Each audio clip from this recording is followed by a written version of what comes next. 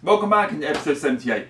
So I'm going to be hard pressed to outdo last week's video. Actually getting the car running was epic for me. I mean that's uh, 18 months of you know breaking off that spark plug, taking the engine out, rebuilding all the bits and bobs, steering rack, fueling system, brake system, uh, and everything else, what, what, other other bits I've done. Um, so to finally get it turning over and running, uh, and it's actually running really nice now, uh, over the moon. This week's video, what I want to try and do is actually get it moving. So trying to outdo last week's will be actually driving the car for the first time. Uh, I can't take it on the road, it's not taxed or insured, although in the UK these cars, because it's over 40 years old, this is 40, this is 79, so it's 43 years old this car, doesn't actually need uh, road tax. So I can drive on the road free as long as it's got car insurance, which I don't have the insurance. Um, but what I want to do is just drive up and down my driveway a bit. I've probably got 20 meters I can, I can back out, something like that. If I can get it moving, I think that's a fantastic uh, milestone again.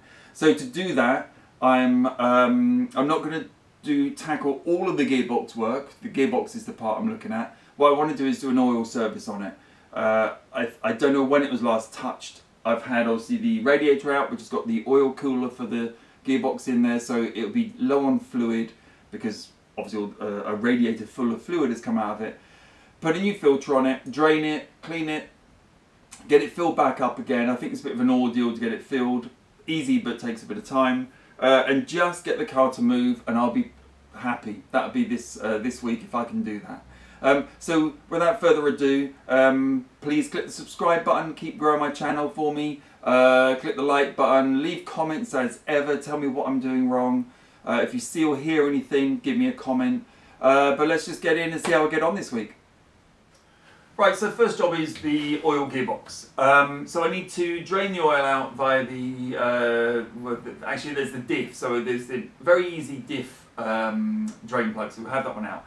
Then um, drain out the gearbox. It's like a sump, a metal sort of pan that fits on the bottom of the gearbox. Drain that out, remove the pan, change the filter, and then it's reassemble and uh, fill it back up.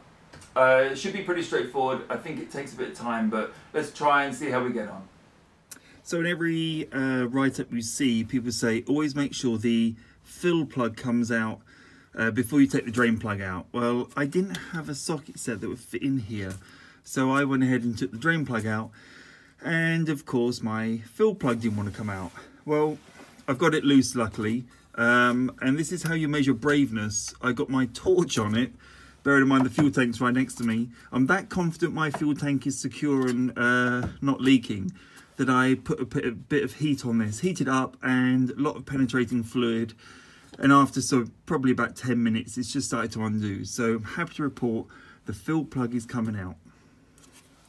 Right I've given it a, a bit of a tidy up but um, I've not gone overboard because I don't want to get any dirt inside the two holes uh, what I'm going to do first then is before I give it a final tidy up is uh, torque the drain plug up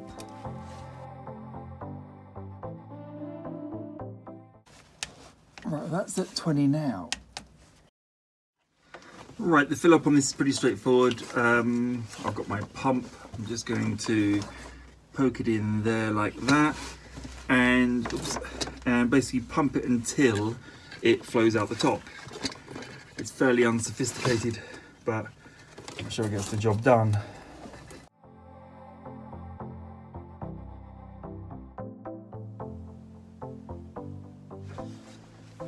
Looks to me like we're full. Okay.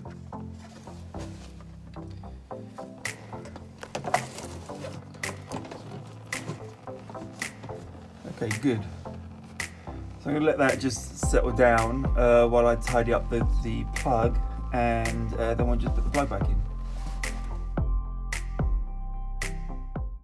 Both torque now up to 20 uh, newton meters. I'm still not super happy that this isn't wound in deeper The top one's gone back to where it was.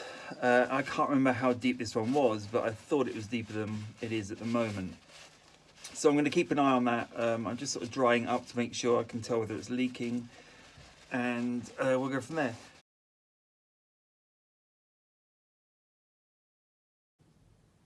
So the gearbox has drained quite nicely. This is what it looks like with the pan off here. Uh, and I've taken the filter out as well.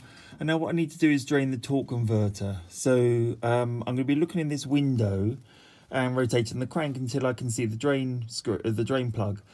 Um, I think probably from a factory car, so one that's not been uh, had the flex plate undone. When you put it at TDC, the uh, drain plug features here is visible here, but as mine's been off and I've spun it around and around a few times, uh, it doesn't line up. So what I need to do is turn the crank until the drain plug's visible. Now I can't do that easily unless I cheat and put a little GoPro underneath. So that's what I'm doing now.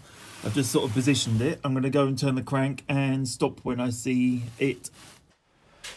So with the, um, I've got my preview showing the uh, the torque converter and I can see where the um, the little hatch where it's supposed to line up.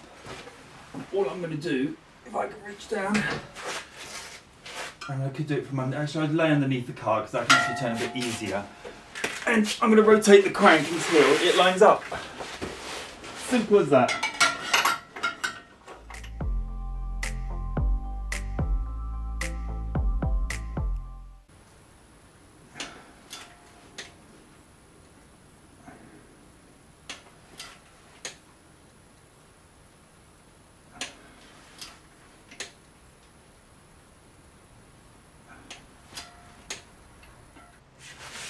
I don't know if you can see from there, but that lines up now perfectly. Not the most comfortable position, but I've got my um, my nice long Allen key here. I didn't check the size actually. Let me have a quick look. Uh, probably it may not be bright enough for me to actually be able to read it. Uh, it's a five mil socket set. Uh, sorry, five mil Allen head, and that goes in the torque converter there. Now I would like a. I may actually go get a hammer and just give it a couple of taps uh, just to really check it's pushed in there because uh, we're gonna have one go at this and if it strips I'm pretty much screwed I'd say. Okay so I have my hammer now. Let's give it a little bit of a it's not just about seating it properly in the in the uh, in the head it's about shocking it a little bit to hopefully uh, loosen it I'm going to spray that into my face because I work better when I've got penetrating oil in my eye. Uh, and let's see if we can undo it. I hate this sort of thing. Uh, okay, come undone. Fairly easy, I think. Just checking. Yeah, it's turning, so okay. No big deal. Um, I'm going to get my my collector container, put it underneath, and then do it undo it from a bit of arm's length so I don't get completely soaked. Uh, so let's do that now. Have to slide back out. It's not the easiest place, unfortunately. Uh, it doesn't feel too bad in there. Um, I'm always worried that I'm going to strip something from my earlier episodes. I'm just roll my sleeve up as well. Um, I'm always half expecting something to shear off nowadays. But this has come out really nicely. Um, I think, hopefully you can see that. I think it's just going to squirt straight down. Let's get the get that out the way. Don't need that covered in transmission fluid. Ready, steady, go. Oh. okay, do that again. Ready, steady, go. Oh, it's not that much. All over my glove, but there's not that much actually, is there? It's probably a litre or so. Um, I don't know if that's been underfilled or anything. I was surprised how little fluid came out of the whole thing, so I wouldn't be surprised if it's uh, leaked out somewhere along the line. Also, bearing in mind I've had the the cooler and the radiator are all undone and probably drained a lot of fluid out that way. So perhaps it's right. Anyway, I'm going to leave this to drain uh, probably for the rest of the day. The new fluid's arrived. I'll tidy up the um, the plug. I've got new crush washers for everything uh, and we can start putting it back together, I think. I need to remember there's another Allen head bolt there I started undoing, thinking it was probably related, but I'll do that back up now.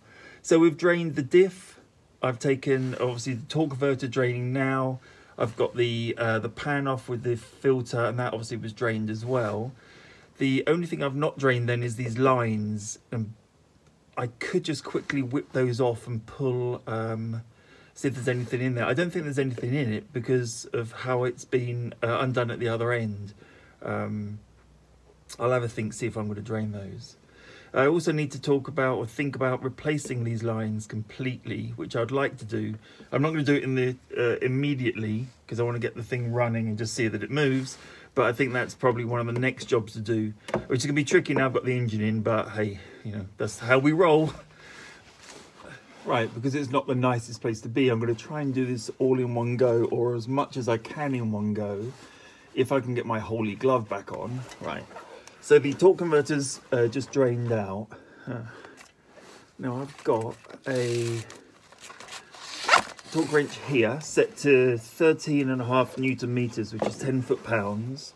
Um, what I'm trying to do is see into the box of bolts so I can pick up the, the uh, correct one. There she is. That's that one there. Right, so let's screw this back in.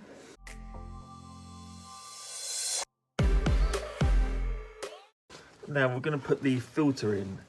Now I probably have to shuffle around a little bit. Where did I put the filter?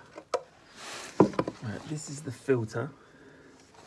I just bought um, a kit from, I can't remember where I got it now, might have been Design 911. I can't remember.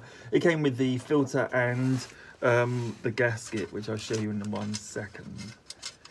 So I'm just going to reach and get the screw like that. Makes it a bit more exciting doing it with uh, oil drip or ATF dripping on your head. Uh, what I want to do is just try and get it in finger tight, just quickly. There, that'll do. And then try and get the other bolt, which is there, got it.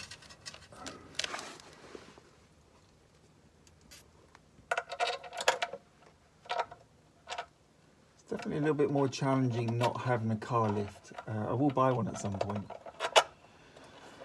Uh, this is how most of us do car mechanic mechanical repairs and things is in a garage laying on our back. So I'm just tightening this up gently. I'm not gonna I don't think it has a specific torque spec. I'm just going to nip the screws up. They're not under any load or anything. Uh, I'm afraid a lot of this is me lying on my back uh, this week. Um, right, so the pan bolts are to 8 newton meters. So I'm going to do this up now, which is pretty slack. Uh, I think that's so that the, oops, if I can get this to click, I think so that the um, the seal, the rubber seal doesn't get compressed too much.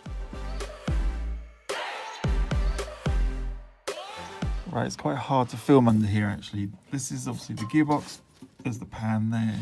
This is the fillet reservoir, so I'm just going to undo the cap. Uh, going to make a very quick clean up, uh, just to stop there being so much grit around. So cap off, I'm going to go clean that back at the, at the bench. Uh, and then we're going to pump liquid in here, fill it up, let it drain through, fill it up, run the engine, etc. And try and get uh, as much liquid in as we can. I'll try and get a good position so you can see what I'm up to.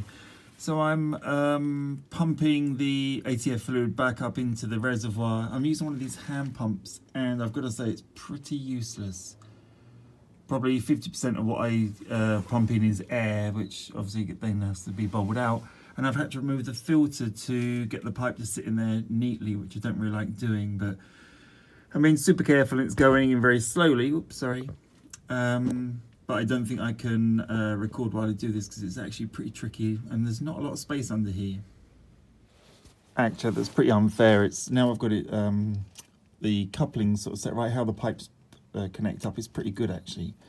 Uh, all I need to do, I'll just do it with one hand. You can see the level in the reservoir going up.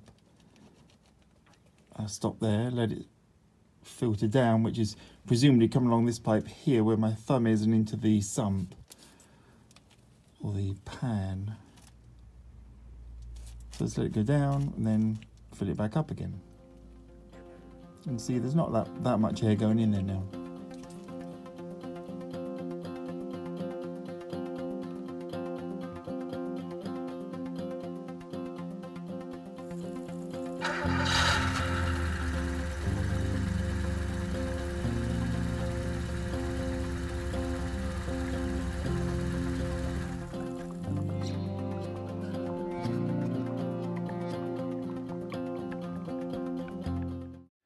Well, it's not one of those landmark moments for me. Uh, I've done the gearbox oil change. I've run in each gear, pressing the brake, uh, and making sure the oil all circulates, and it's now come back and it's sitting. I've actually left it about midway between the min and max.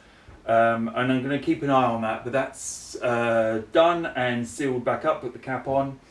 Um, I've put the car back down, so the car's uh, on all four wheels. I've been around making sure there's nothing in the way.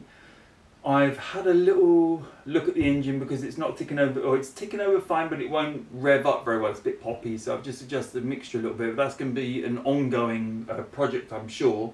But what I want to do is actually reverse the car out. So this will be the first time it's moved under its own steam since I've had it, which is uh, a year and a half, and probably a number of years before that. I don't know how long, but it's probably quite a few. Uh, so it's quite a landmark to actually get it moving under its own steam. The seats aren't bolted in, so it's going to be a little bit awkward, but I'm going to try. Uh, and all I want to do is actually reverse it out onto the driveway, uh, stop it, have a look around, pull it back in. That's pretty much it for today. Uh, I'm hoping it works. I've been all over it. I've checked everything I can to make sure it's not leaking. It's not going to blow a pipe off and pour oil all over my driveway. Uh, but let's just try. Let's get do it.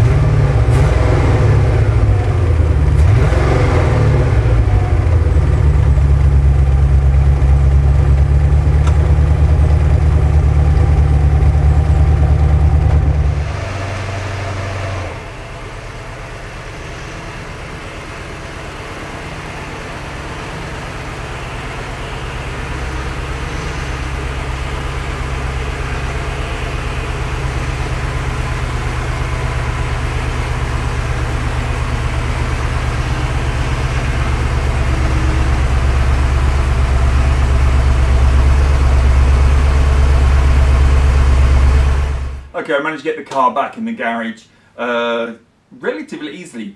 How cool is that though? That actually uh, to drive the car, okay, driving in uh, quotes. I think it's just the air horn.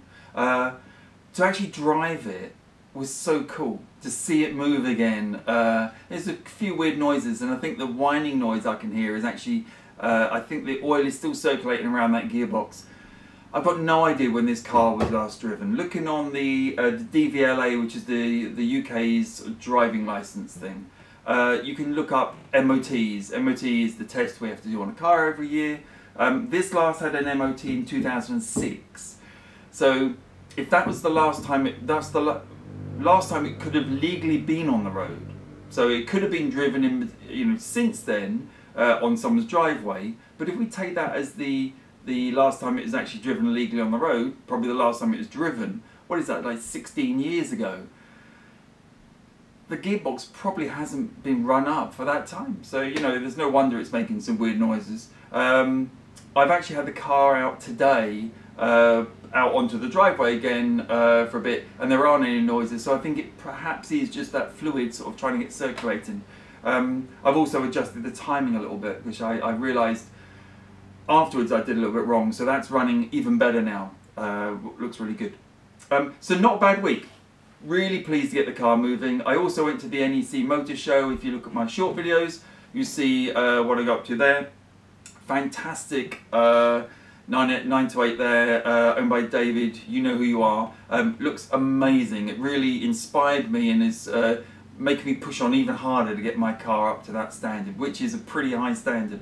Um, anyway, enough rambling. Um, as ever, thank you very much. I'm going to re need to work out what I'm going to do next week. Whether I'm going to carry on uh, with the stuff to get the car moving and driving better, or if I'm going to take a little uh, diversion. There's a few electrical things I want to do, like the brake lights don't work, the fuel sender I never wired up, uh, the electric windows don't work, and actually got locked in the car earlier. Um, so if I had the window down, I could have helped myself get out. Um, anyway, uh, as ever, thanks for watching. Click like, subscribe, leave me comments, and I'll see you next week.